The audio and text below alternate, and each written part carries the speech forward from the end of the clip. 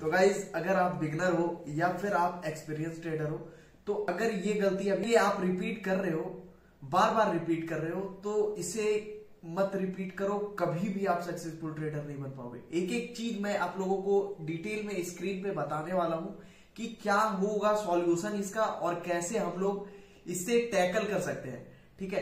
तो एक एक चीज़ आप लोग अच्छे से देखिए और बिना स्किप किए हुए देखिएगा, तभी आप लोगों को समझ में आएगा कि सही में ये गलतियाँ आप रिपीट कर रहे हैं। और अगर रिपीट कर रहे हैं तो इसे अभी तुरंत छोड़ दीजिए। नहीं तो आप अगर एक्सपीरियंस भी अपने आप को समझ रहे हो ना तो कोई काम का नहीं है ये एक्सपीरियंस टेक्निकल बस टेन परसेंट होता है। बाकी के बाकी चीज़ जो भी होते हैं, वो सारे आपके साइकोलॉजी पे डिपेंड करता है। कैसे आप दिख रहे हो, कैसे बिहेव कर रहे हो ट्रेडिंग लेने के टाइम सारी चीज़ें उसी पे डिपेंड करती है। तो चलिए मैं आप लोगों को एक एक चीज़ एकदम अच्छे से डिटेल में समझाता हूँ कि कैसे आप लोग इन प्रॉब्लमों से टैकल कर सकते हैं, जो लगभग हर बिगनर या फिर थोड़ा जो एक्सपीरियंस हो जाते हैं मतलब बोलते हैं एक्सपीरियंस है बट उन्हें अगर एक्सपीरियंस होता है तो फिर शायद ये प्रॉब्लम उनको अपने आप दिख जाता है और वो खुद पे खुद सॉल्यूशन भी निकाल लेते हैं। तो गाइज़ सॉल्यूशन मैं आप लोगों को बताने वाला हूँ, कोई टेंशन लेने वाली बात नहीं है, ठीक है? इसे बस आप लोग फॉलो करना होगा कंसिस्टेंट नहीं तो फिर कुछ नहीं होगा, मैं सॉल्यूशन बताऊँगा, आप देखोगे वीडियो पूरा देख लोगे और वीडियो बंद करके चले जाओगे भूल के। तो ऐसे नहीं होता है, ठीक है? अगर आपको सही में करना है ट्रेडिंग और प्रॉफिटेबल ट्रेडर बनना है तो डेडिकेशन होके लगना होगा, ठीक है? पूरा फुल्ली डेडिकेटेड होके लगना होगा।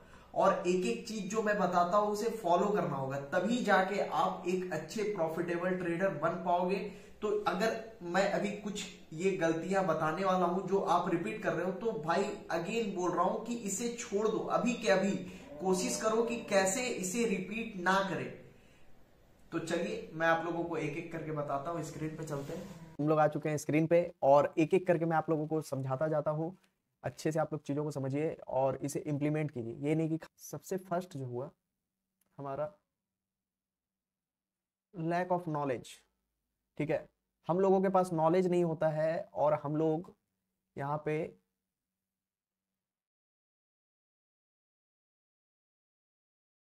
देखो, सबसे पहले इसमें क्या होता है कि कोई भी बिगनर जो होते हैं, वो क्या करते हैं कि कभी भी अगर एक जगह पे ट्रेड कर रहे हैं, जैसे स्विंग ट्रेड कर रहे हैं, ठीक है? तो स्विंग अगर ट्रेड कर रहे हैं तो वहाँ पे क्या करते हैं वो कि स्विंग ट्रेड करने के साथ उन्हें लगता है कि भाई पैसा ज़्यादा बन रहा है इंट्राडे में। इंट्राडे का बिना नॉलेज लिए इंट्राडे में कूद गए। ठीक है, पहला दो तीन दिन लॉस हुआ, चार दिन, पाँच दिन, पूरा अच्छे से लॉस हुआ, ठीक है। उसके बाद फिर उन्हें समझ में आता है कि अब हमें सीखना चाहिए। सभी के साथ ये होता है यार, मेरे साथ भी हुआ था, आप लोगों के साथ, सभी के साथ ये होता है, ठीक है। तो फिर उन्हें समझ में आता है कि इंट्राडे करते करते उन्हें ध्यान आता है। करते करते उन्हें ध्यान आता है कि भाई ऑप्शंस बहुत अच्छा पैसा दे रहा है। ऑप्शन बाइंग तो वो ऑप्शन ट्रेडिंग स्टार्ट कर देते हैं, क्योंकि वो कंप्लीटली अभी इंट्राडे भी नहीं सीखे तो वो स्टार्ट कर देते हैं, फिर ऑप्शन बाइंग बट ये नहीं उन्हें समझ में आता है कि भाई नॉलेज एक जगह का पहले आप प्रॉपर लो यार, उसमें मास्टर बनो। फिर आप दूसरे जगह जाओगे तो फिर उसमें आप अच्छे हो पाओगे। ठीक है? और उसके कारण उन्हें जो है कॉस्टली पड़ जाता है लॉसेस काफ़ी जो है मिस्टेक्स जो करते हैं वो वो कॉस्टली पड़ जाता है। सबसे पहले ये चीज़ आप समझिए कि आप जो भी कर रहे हो, स्विच कर रहे हो एक जगह से दूसरे जगह जो स्विच कर रहे हो आप तो उसके चलते आप लोगों को एक जगह पे तो आप सीखे नहीं हो, वहाँ से आपको पैसा आ नहीं रहा है तो आप दूसरे जगह स्विच कर गए, फिर से आपको उतना ही कॉस्ट पड़ जाएगा तो इसे ही बोलते हैं कॉस्टली मिस्टेक, और ये कॉस्टली हो जाता है काफ़ी ज़्यादा, और इंट्राडे में ऑप्शंस में तो भाई भरपूर आप अगर करोड़ रुपया भी लेके बैठे हो तो वो आप पाँच मिनट के अंदर उड़ा दोगे, ठीक है, पाँच मिनट भी मैं बहुत ज़्यादा बोल दिया, आप एक मिनट के अंदर उड़ा दोगे। ठीक है? अगर सही से आपका जो है रिस्क मैनेजमेंट प्रॉपर नहीं हुआ इमोशनल आप ट्रेड करते हो, ठीक है? दूसरी चीज़ें, देखो, दूसरा मिस्टेक जो है, जो अगर ट्रेड करते भी हैं तो दूसरा जो मिस्टेक होता है हमारा इमोशनल ट्रेडिंग तो अगर इमोशनल ट्रेडिंग हो मतलब इमोशन को इन्वॉल्व कर देते हैं अगर बीच में तो फिर इमोशन जो है हमारे अच्छी तरीके से ले लेता है। जैसे कि फियर हो गया ग्रीड हो गया, ये सारी चीज़ें अगर आप पे हावी होने लगा तो समझ लीजिए कि फेयर यानी कि आप ट्रेड लिए और ये ऊपर जा रहा है बट आप प्रॉफिट में जल्दी ट्रेड काट दोगे लेकिन यही चीज़ आप अगर लॉस में हो जाने देते हैं भाई। देखते हैं ना क्या होगा ज़्यादा से ज़्यादा यही जाएगा ना। सही में आप लोग बताइए ऐसा कमेंट कीजिए ऐसा होता है या नहीं? आप लोग रिलेट कर पा रहे हो ये चीज़ें आप लोगों के साथ होता है या नहीं? तो इस चीज़ को अगर आप इनमें से अभी तक जो भी मैं बता रहा हूँ इनमें से अगर कोई भी मिस्टेक करते हो तो भाई ये मतलब मिस्टेक नहीं बोलेंगे ब्लंडर है ये ठीक है? या तो आप उंगली काट दो, ठीक है? और नहीं तो फिर बाद में हाथ काटना पड़ जाएगा। तो इस चीज़ को समझिए फियर ग्रीड इन सारी चीज़ों को हावी मत होने दीजिए अपने पे। छोटा सा लॉस काटिए, ठीक है? और प्रॉफिट बढ़ा लीजिए। इन, अगर इस हिसाब से आप अगर चलोगे ना तो प्रॉफिट आप बहुत अच्छा बनाने वाले हो। और अभी आगे चलिए, मैं बताते जाता हूँ क्या क्या गलती करते हो आप लोग, ठीक है? आप लोग मतलब बिगनर क्या करते हैं, ठीक है? ओवर ट्रेडिंग जैसे कि आज ट्रेड किया हमने, पाँच सौ रुपए बन गए अच्छे से, ठीक है, पाँच हज़ार बन गए, या फिर पाँच सौ ही मान के चलिए पाँच सौ बन गए। उसके बाद क्या होता है कि उन्हें लगता है कि भाई ये जो बना है, थोड़ा सा और बढ़ जाए तो मज़ा आ जाए। उसके चलते वो एक और ट्रेड लिए, उसमें 200 माइनस आया, ठीक है। 200 माइनस आया, अब 300 बच गया। यार पहले ही ठीक था, नहीं ट्रेड मैं करता तो फिर से ये हम 500 बनाने की कोशिश करेंगे, ठीक है? ये सोचेंगे कि पहले ही ठीक था और फिर से इसे कम से कम पहले जितना था उतना कर देते हैं, ठीक है? और फिर से ट्रेड लेंगे। यहाँ पे आपका ब्रोकरेज भी जा रहा है, ठीक है? ओवर ट्रेड आप ले रहे हो तो। और आप जो फिर से ले रहे हो प्रॉफिट भी जा रहा है। अब हो सकता है ये घट के आपका 200 आ जाए, ठीक है? उसके बाद तो फिर लगेगा, यार, और ज़्यादा घट गया। अब क्या करें? अब एक फाइनल टेस्ट मारते हैं। इसमें बढ़ गया, इसमें हो गया आपका तीन सौ पचास रुपये, ठीक है? तीन सौ पचास जैसे हुआ। बस यहाँ पे आपका फिर से मन करने लगा, भाई, एक बार तो बना है, देखते हैं, एक बार और ट्राई करते हैं। और इसमें आपका ये पूरा 350 का 350 ज़ीरो और माइनस आप जो है दो सौ रुपए में चले गए। तो ये चीज़ें हो गई ओवर ट्रेडिंग ओवर ट्रेडिंग से बचिए, ठीक है? यहाँ पे आपका ब्रोकरेज भी लगता है। फोकस कीजिए क्वालिटी ट्रेड में क्वांटिटी ट्रेड में नहीं, दिन में एक ही दो ट्रेड लीजिए बट अच्छा होना चाहिए, एकदम तगड़ा ट्रेड होना चाहिए, जिससे कि आपका रिस्क रिवॉर्ड भी एकदम बहुत बेहतरीन हो और सारी चीज़ें आप एकदम उसमें रिस्क मैनेजमेंट सारी चीज़ें मनी मैनेजमेंट प्रॉपर कर सको। तो देखो, ये गलती अगर आप कर रहे हो तो छोड़ दो, ठीक है? और फोकस करो क्वालिटी ट्रेड में क्वांटिटी ट्रेड में नहीं। और उसके बाद जब ट्रेड लेते हो तो रिस्क मैनेजमेंट ही आप लोग भूल जाते हो, ठीक है? रिस्क मैनेज करना भूल जाते हो। भाई। तो रिस्क मैनेजमेंट में सीधी सी बात है कि स्टॉप लॉस भाई स्टॉप लॉस स्टॉप लॉस लगाना भूल जाते हो यार। सोचते हो कि देखेंगे ना, इसके नीचे आएगा तो काट लेंगे। तो वो अगर बिगनर है तो बिगनर को पहले शुरू में स्टार्टिंग में कोशिश करना चाहिए कि भाई पहले स्टॉप लॉस लगा के चले। बाद में आप भले थोड़ा सा एक्सपीरियंस हो जाओ तो माइंड में हाँ कि इसके नीचे जाएगा तो सेल कर देंगे। और वो बहुत कम लोगों से हो पाता है। जो एक्सपीरियंस भी होते हैं ना, उनसे जो नहीं हो पाता है, ठीक है? तो जो इमोशन से ट्रेड करते हैं वो यही सारी मिस्टेक्स और ये बड़े बड़े मिस्टेक्स हैं। देखने में तो बड़ा छोटा लग रहा है, लेकिन ये आपके जो है ट्रेडिंग पे बहुत ज़्यादा इफ़ेक्ट करता है, ठीक है? दूसरा लिमिट में अपनी दो तीन चीज़ों पे रिस्क मैनेजमेंट में जब हम लोग बात करते हैं तो दो तीन चीज़ों पे फोकस करना हम लोगों को। एक स्टॉप लॉस दूसरा हो गया हम लोगों को मनी मैनेजमेंट में फोकस करना, ठीक है? मनी मैनेजमेंट ने मतलब कि कैपिटल हम लोगों को अपना बचाना है। कैपिटल को प्रोटेक्ट करना है। कैपिटल को प्रोटेक्ट करेंगे तभी हम लोग जैसे अगर फ़ील्ड में कोई जो हमारे मतलब क्रिकेटर होते हैं तो वो अगर फ़ील्ड में देखते हो टिके रहते हैं, तभी जाके वो रन बना पाते हैं। तो फ़ील्ड में हमें टिके रहना ज़रूरी है, तब हम लोग जाके धीरे धीरे चीज़ों को सीखते जाएँगे और अपने आप प्रॉफिट सबसे बड़ी चीज़ें है ये, सबसे बड़ी बात है, देखो ये ये जो आप लोगों को मैं बता रहा हूँ ना भाई फ्री ये चीज़ें आपको बताने के ही लाख रुपए ले लेते हैं बड़े बड़े ट्रेडर तो इन चीज़ों को अप्लाई करो भाई। ये बहुत बड़ी बात है, ठीक है?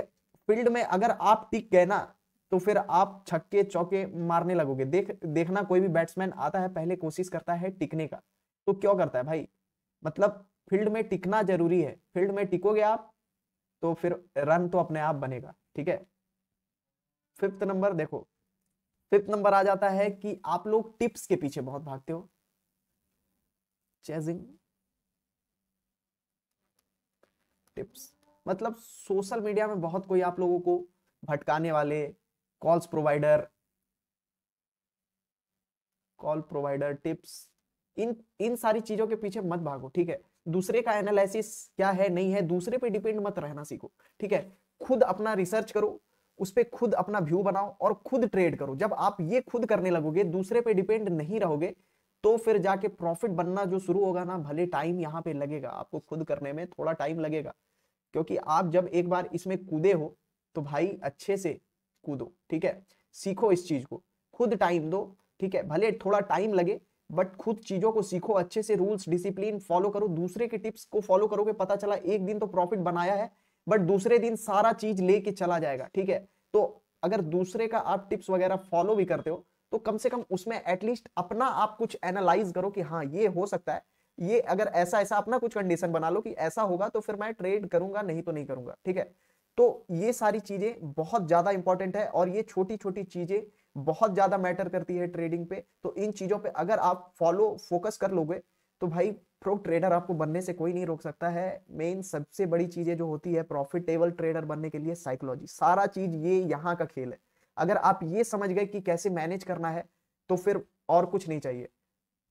सिक्स देखिए लैक ऑफ़ पेशेंस जो बिगनर होते हैं ना, वो सोचते हैं कि मार्केट में तुरंत आए और तुरंत हमें पैसा बन जाए, ठीक है? तुरंत आने के बाद मार्केट में जैसे नाइन फिफ्टीन में मिला ट्रेड भाई तुरंत चुल मच रहा है ना? क्योंकि चुल मच रहा है यहाँ पे, तुरंत मुझे ट्रेड मारना है। क्योंकि प्रॉफिट चाहिए, तुरंत एकदम। और ये प्रॉफिट के चक्कर में क्या हो जाता है? गोल गोल अंडा। भाई यहाँ पे लॉसेस होते हैं बड़े बड़े ठीक है? तो पेशेंस के साथ वेट कीजिए, अपना सेटअप का वेट कीजिए।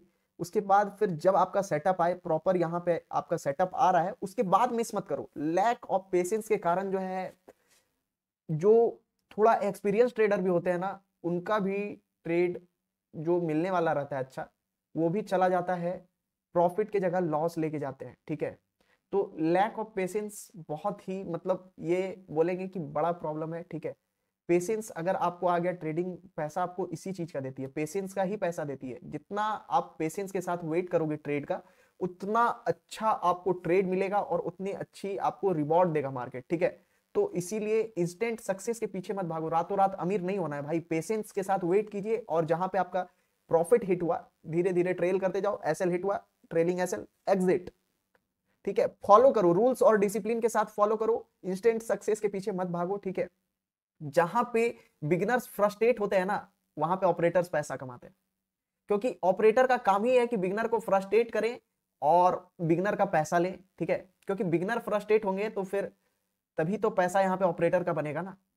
तो बस सीधा सा आपको ऑपरेटर का माइंडसेट समझना है कि कैसे आपके माइंड से खेला जाता है, ठीक है? हो सकता है वीडियो थोड़ा लंबा हो जाए बट ये जो इंफॉर्मेशन है ना गाइज़ आपको कहीं भी नहीं मिलेगा, ठीक है? ये मतलब नेक्स्ट लेवल की चीज़ है। अगर इसे आप सभी चीज़ों को अगर फॉलो कर ली या फिर इनमें से कोई भी गलती अगर आप कर रहे हो, एक भी मिस्टेक तो वो आपको प्रॉफिटेबल ट्रेडर नहीं बनने देगा। इसलिए एक एक चीज़ को अच्छे से फॉलो कीजिए। ठीक है? सेवेंथ हो जाता है कि भाई कंसिस्टेंट हम लोगों को इन सारी चीज़ों को कंसिस्टेंट फॉलो करना है, ठीक है? कंसिस्टेंट फॉलो करना है। कंसिस्टेंट इन चीज़ों को फॉलो नहीं करते तो ये सारी चीज़ें आप फॉलो करो, देखो यार, आप प्रो टेबल प्रो ट्रेडर बन जाओगे भाई नेक्स्ट लेवल एकदम, ठीक है? और अगर वीडियो आप लोगों को अच्छा लगा हो तो लाइक करें और चैनल को सब्सक्राइब करें। ऐसे ही इंफॉर्मेटिव वीडियोस देखने के लिए हमारे चैनल को सब्सक्राइब कर लीजिए। चलो फिर मिलते हैं हम लोग नेक्स्ट वीडियो में।